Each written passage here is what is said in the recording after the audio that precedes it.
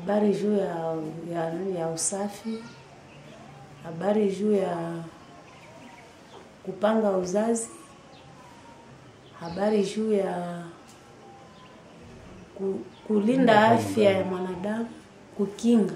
Hmm. bamama ya kule tunaongeaka navo mingi me viko na vichwa vigumu. Juu wanazoea sana hmm.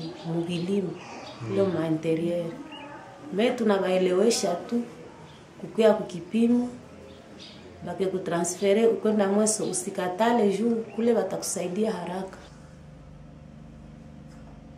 Sema nifikie hapa mweso. Nilipoeneza mimba ilipoeneza miezi saba nikaenda tena kukipimo kufika kukipimo wakapima wakasema mtoto alishaikala mbaya shajitambika transverse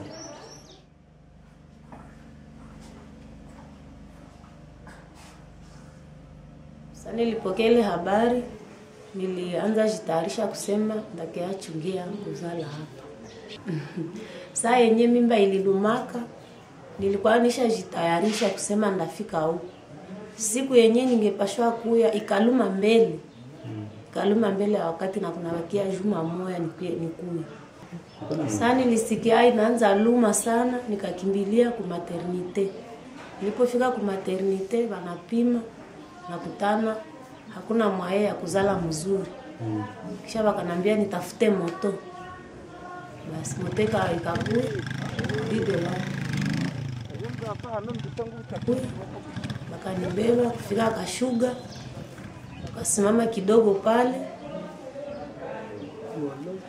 Nilipofika hapa kwa hospitali, waganga wakanipokea, wakanibeba msale ya maternite hapa kwa hospitali. Nilikuwa najua na nilikuwa nishaogopa kusema Samuel alishakufia mtumbo. Doktere Claudine akakuya, alipokuya naye akapima, akasema mtoto angali napumua, kisha banibebe mbio kusala mdogo. Ilikuwa ya mingi sana, Kwa sikia tu niko nalumia sana, niko nateseka. Kisha hii hayo balinitia tu pande tu kia chini, nikakuwa nasema niko na niko naongea nao. Kipande kya chini tu ndio kenye kilikuwa kina Nilifurahi sana na kuona mtoto garso, nikafurahi sana. Kasikia iko nalia tu kisauti, nikauliza yule ni mtoto gani? Asemi garso. Kisha nikafurahi sana.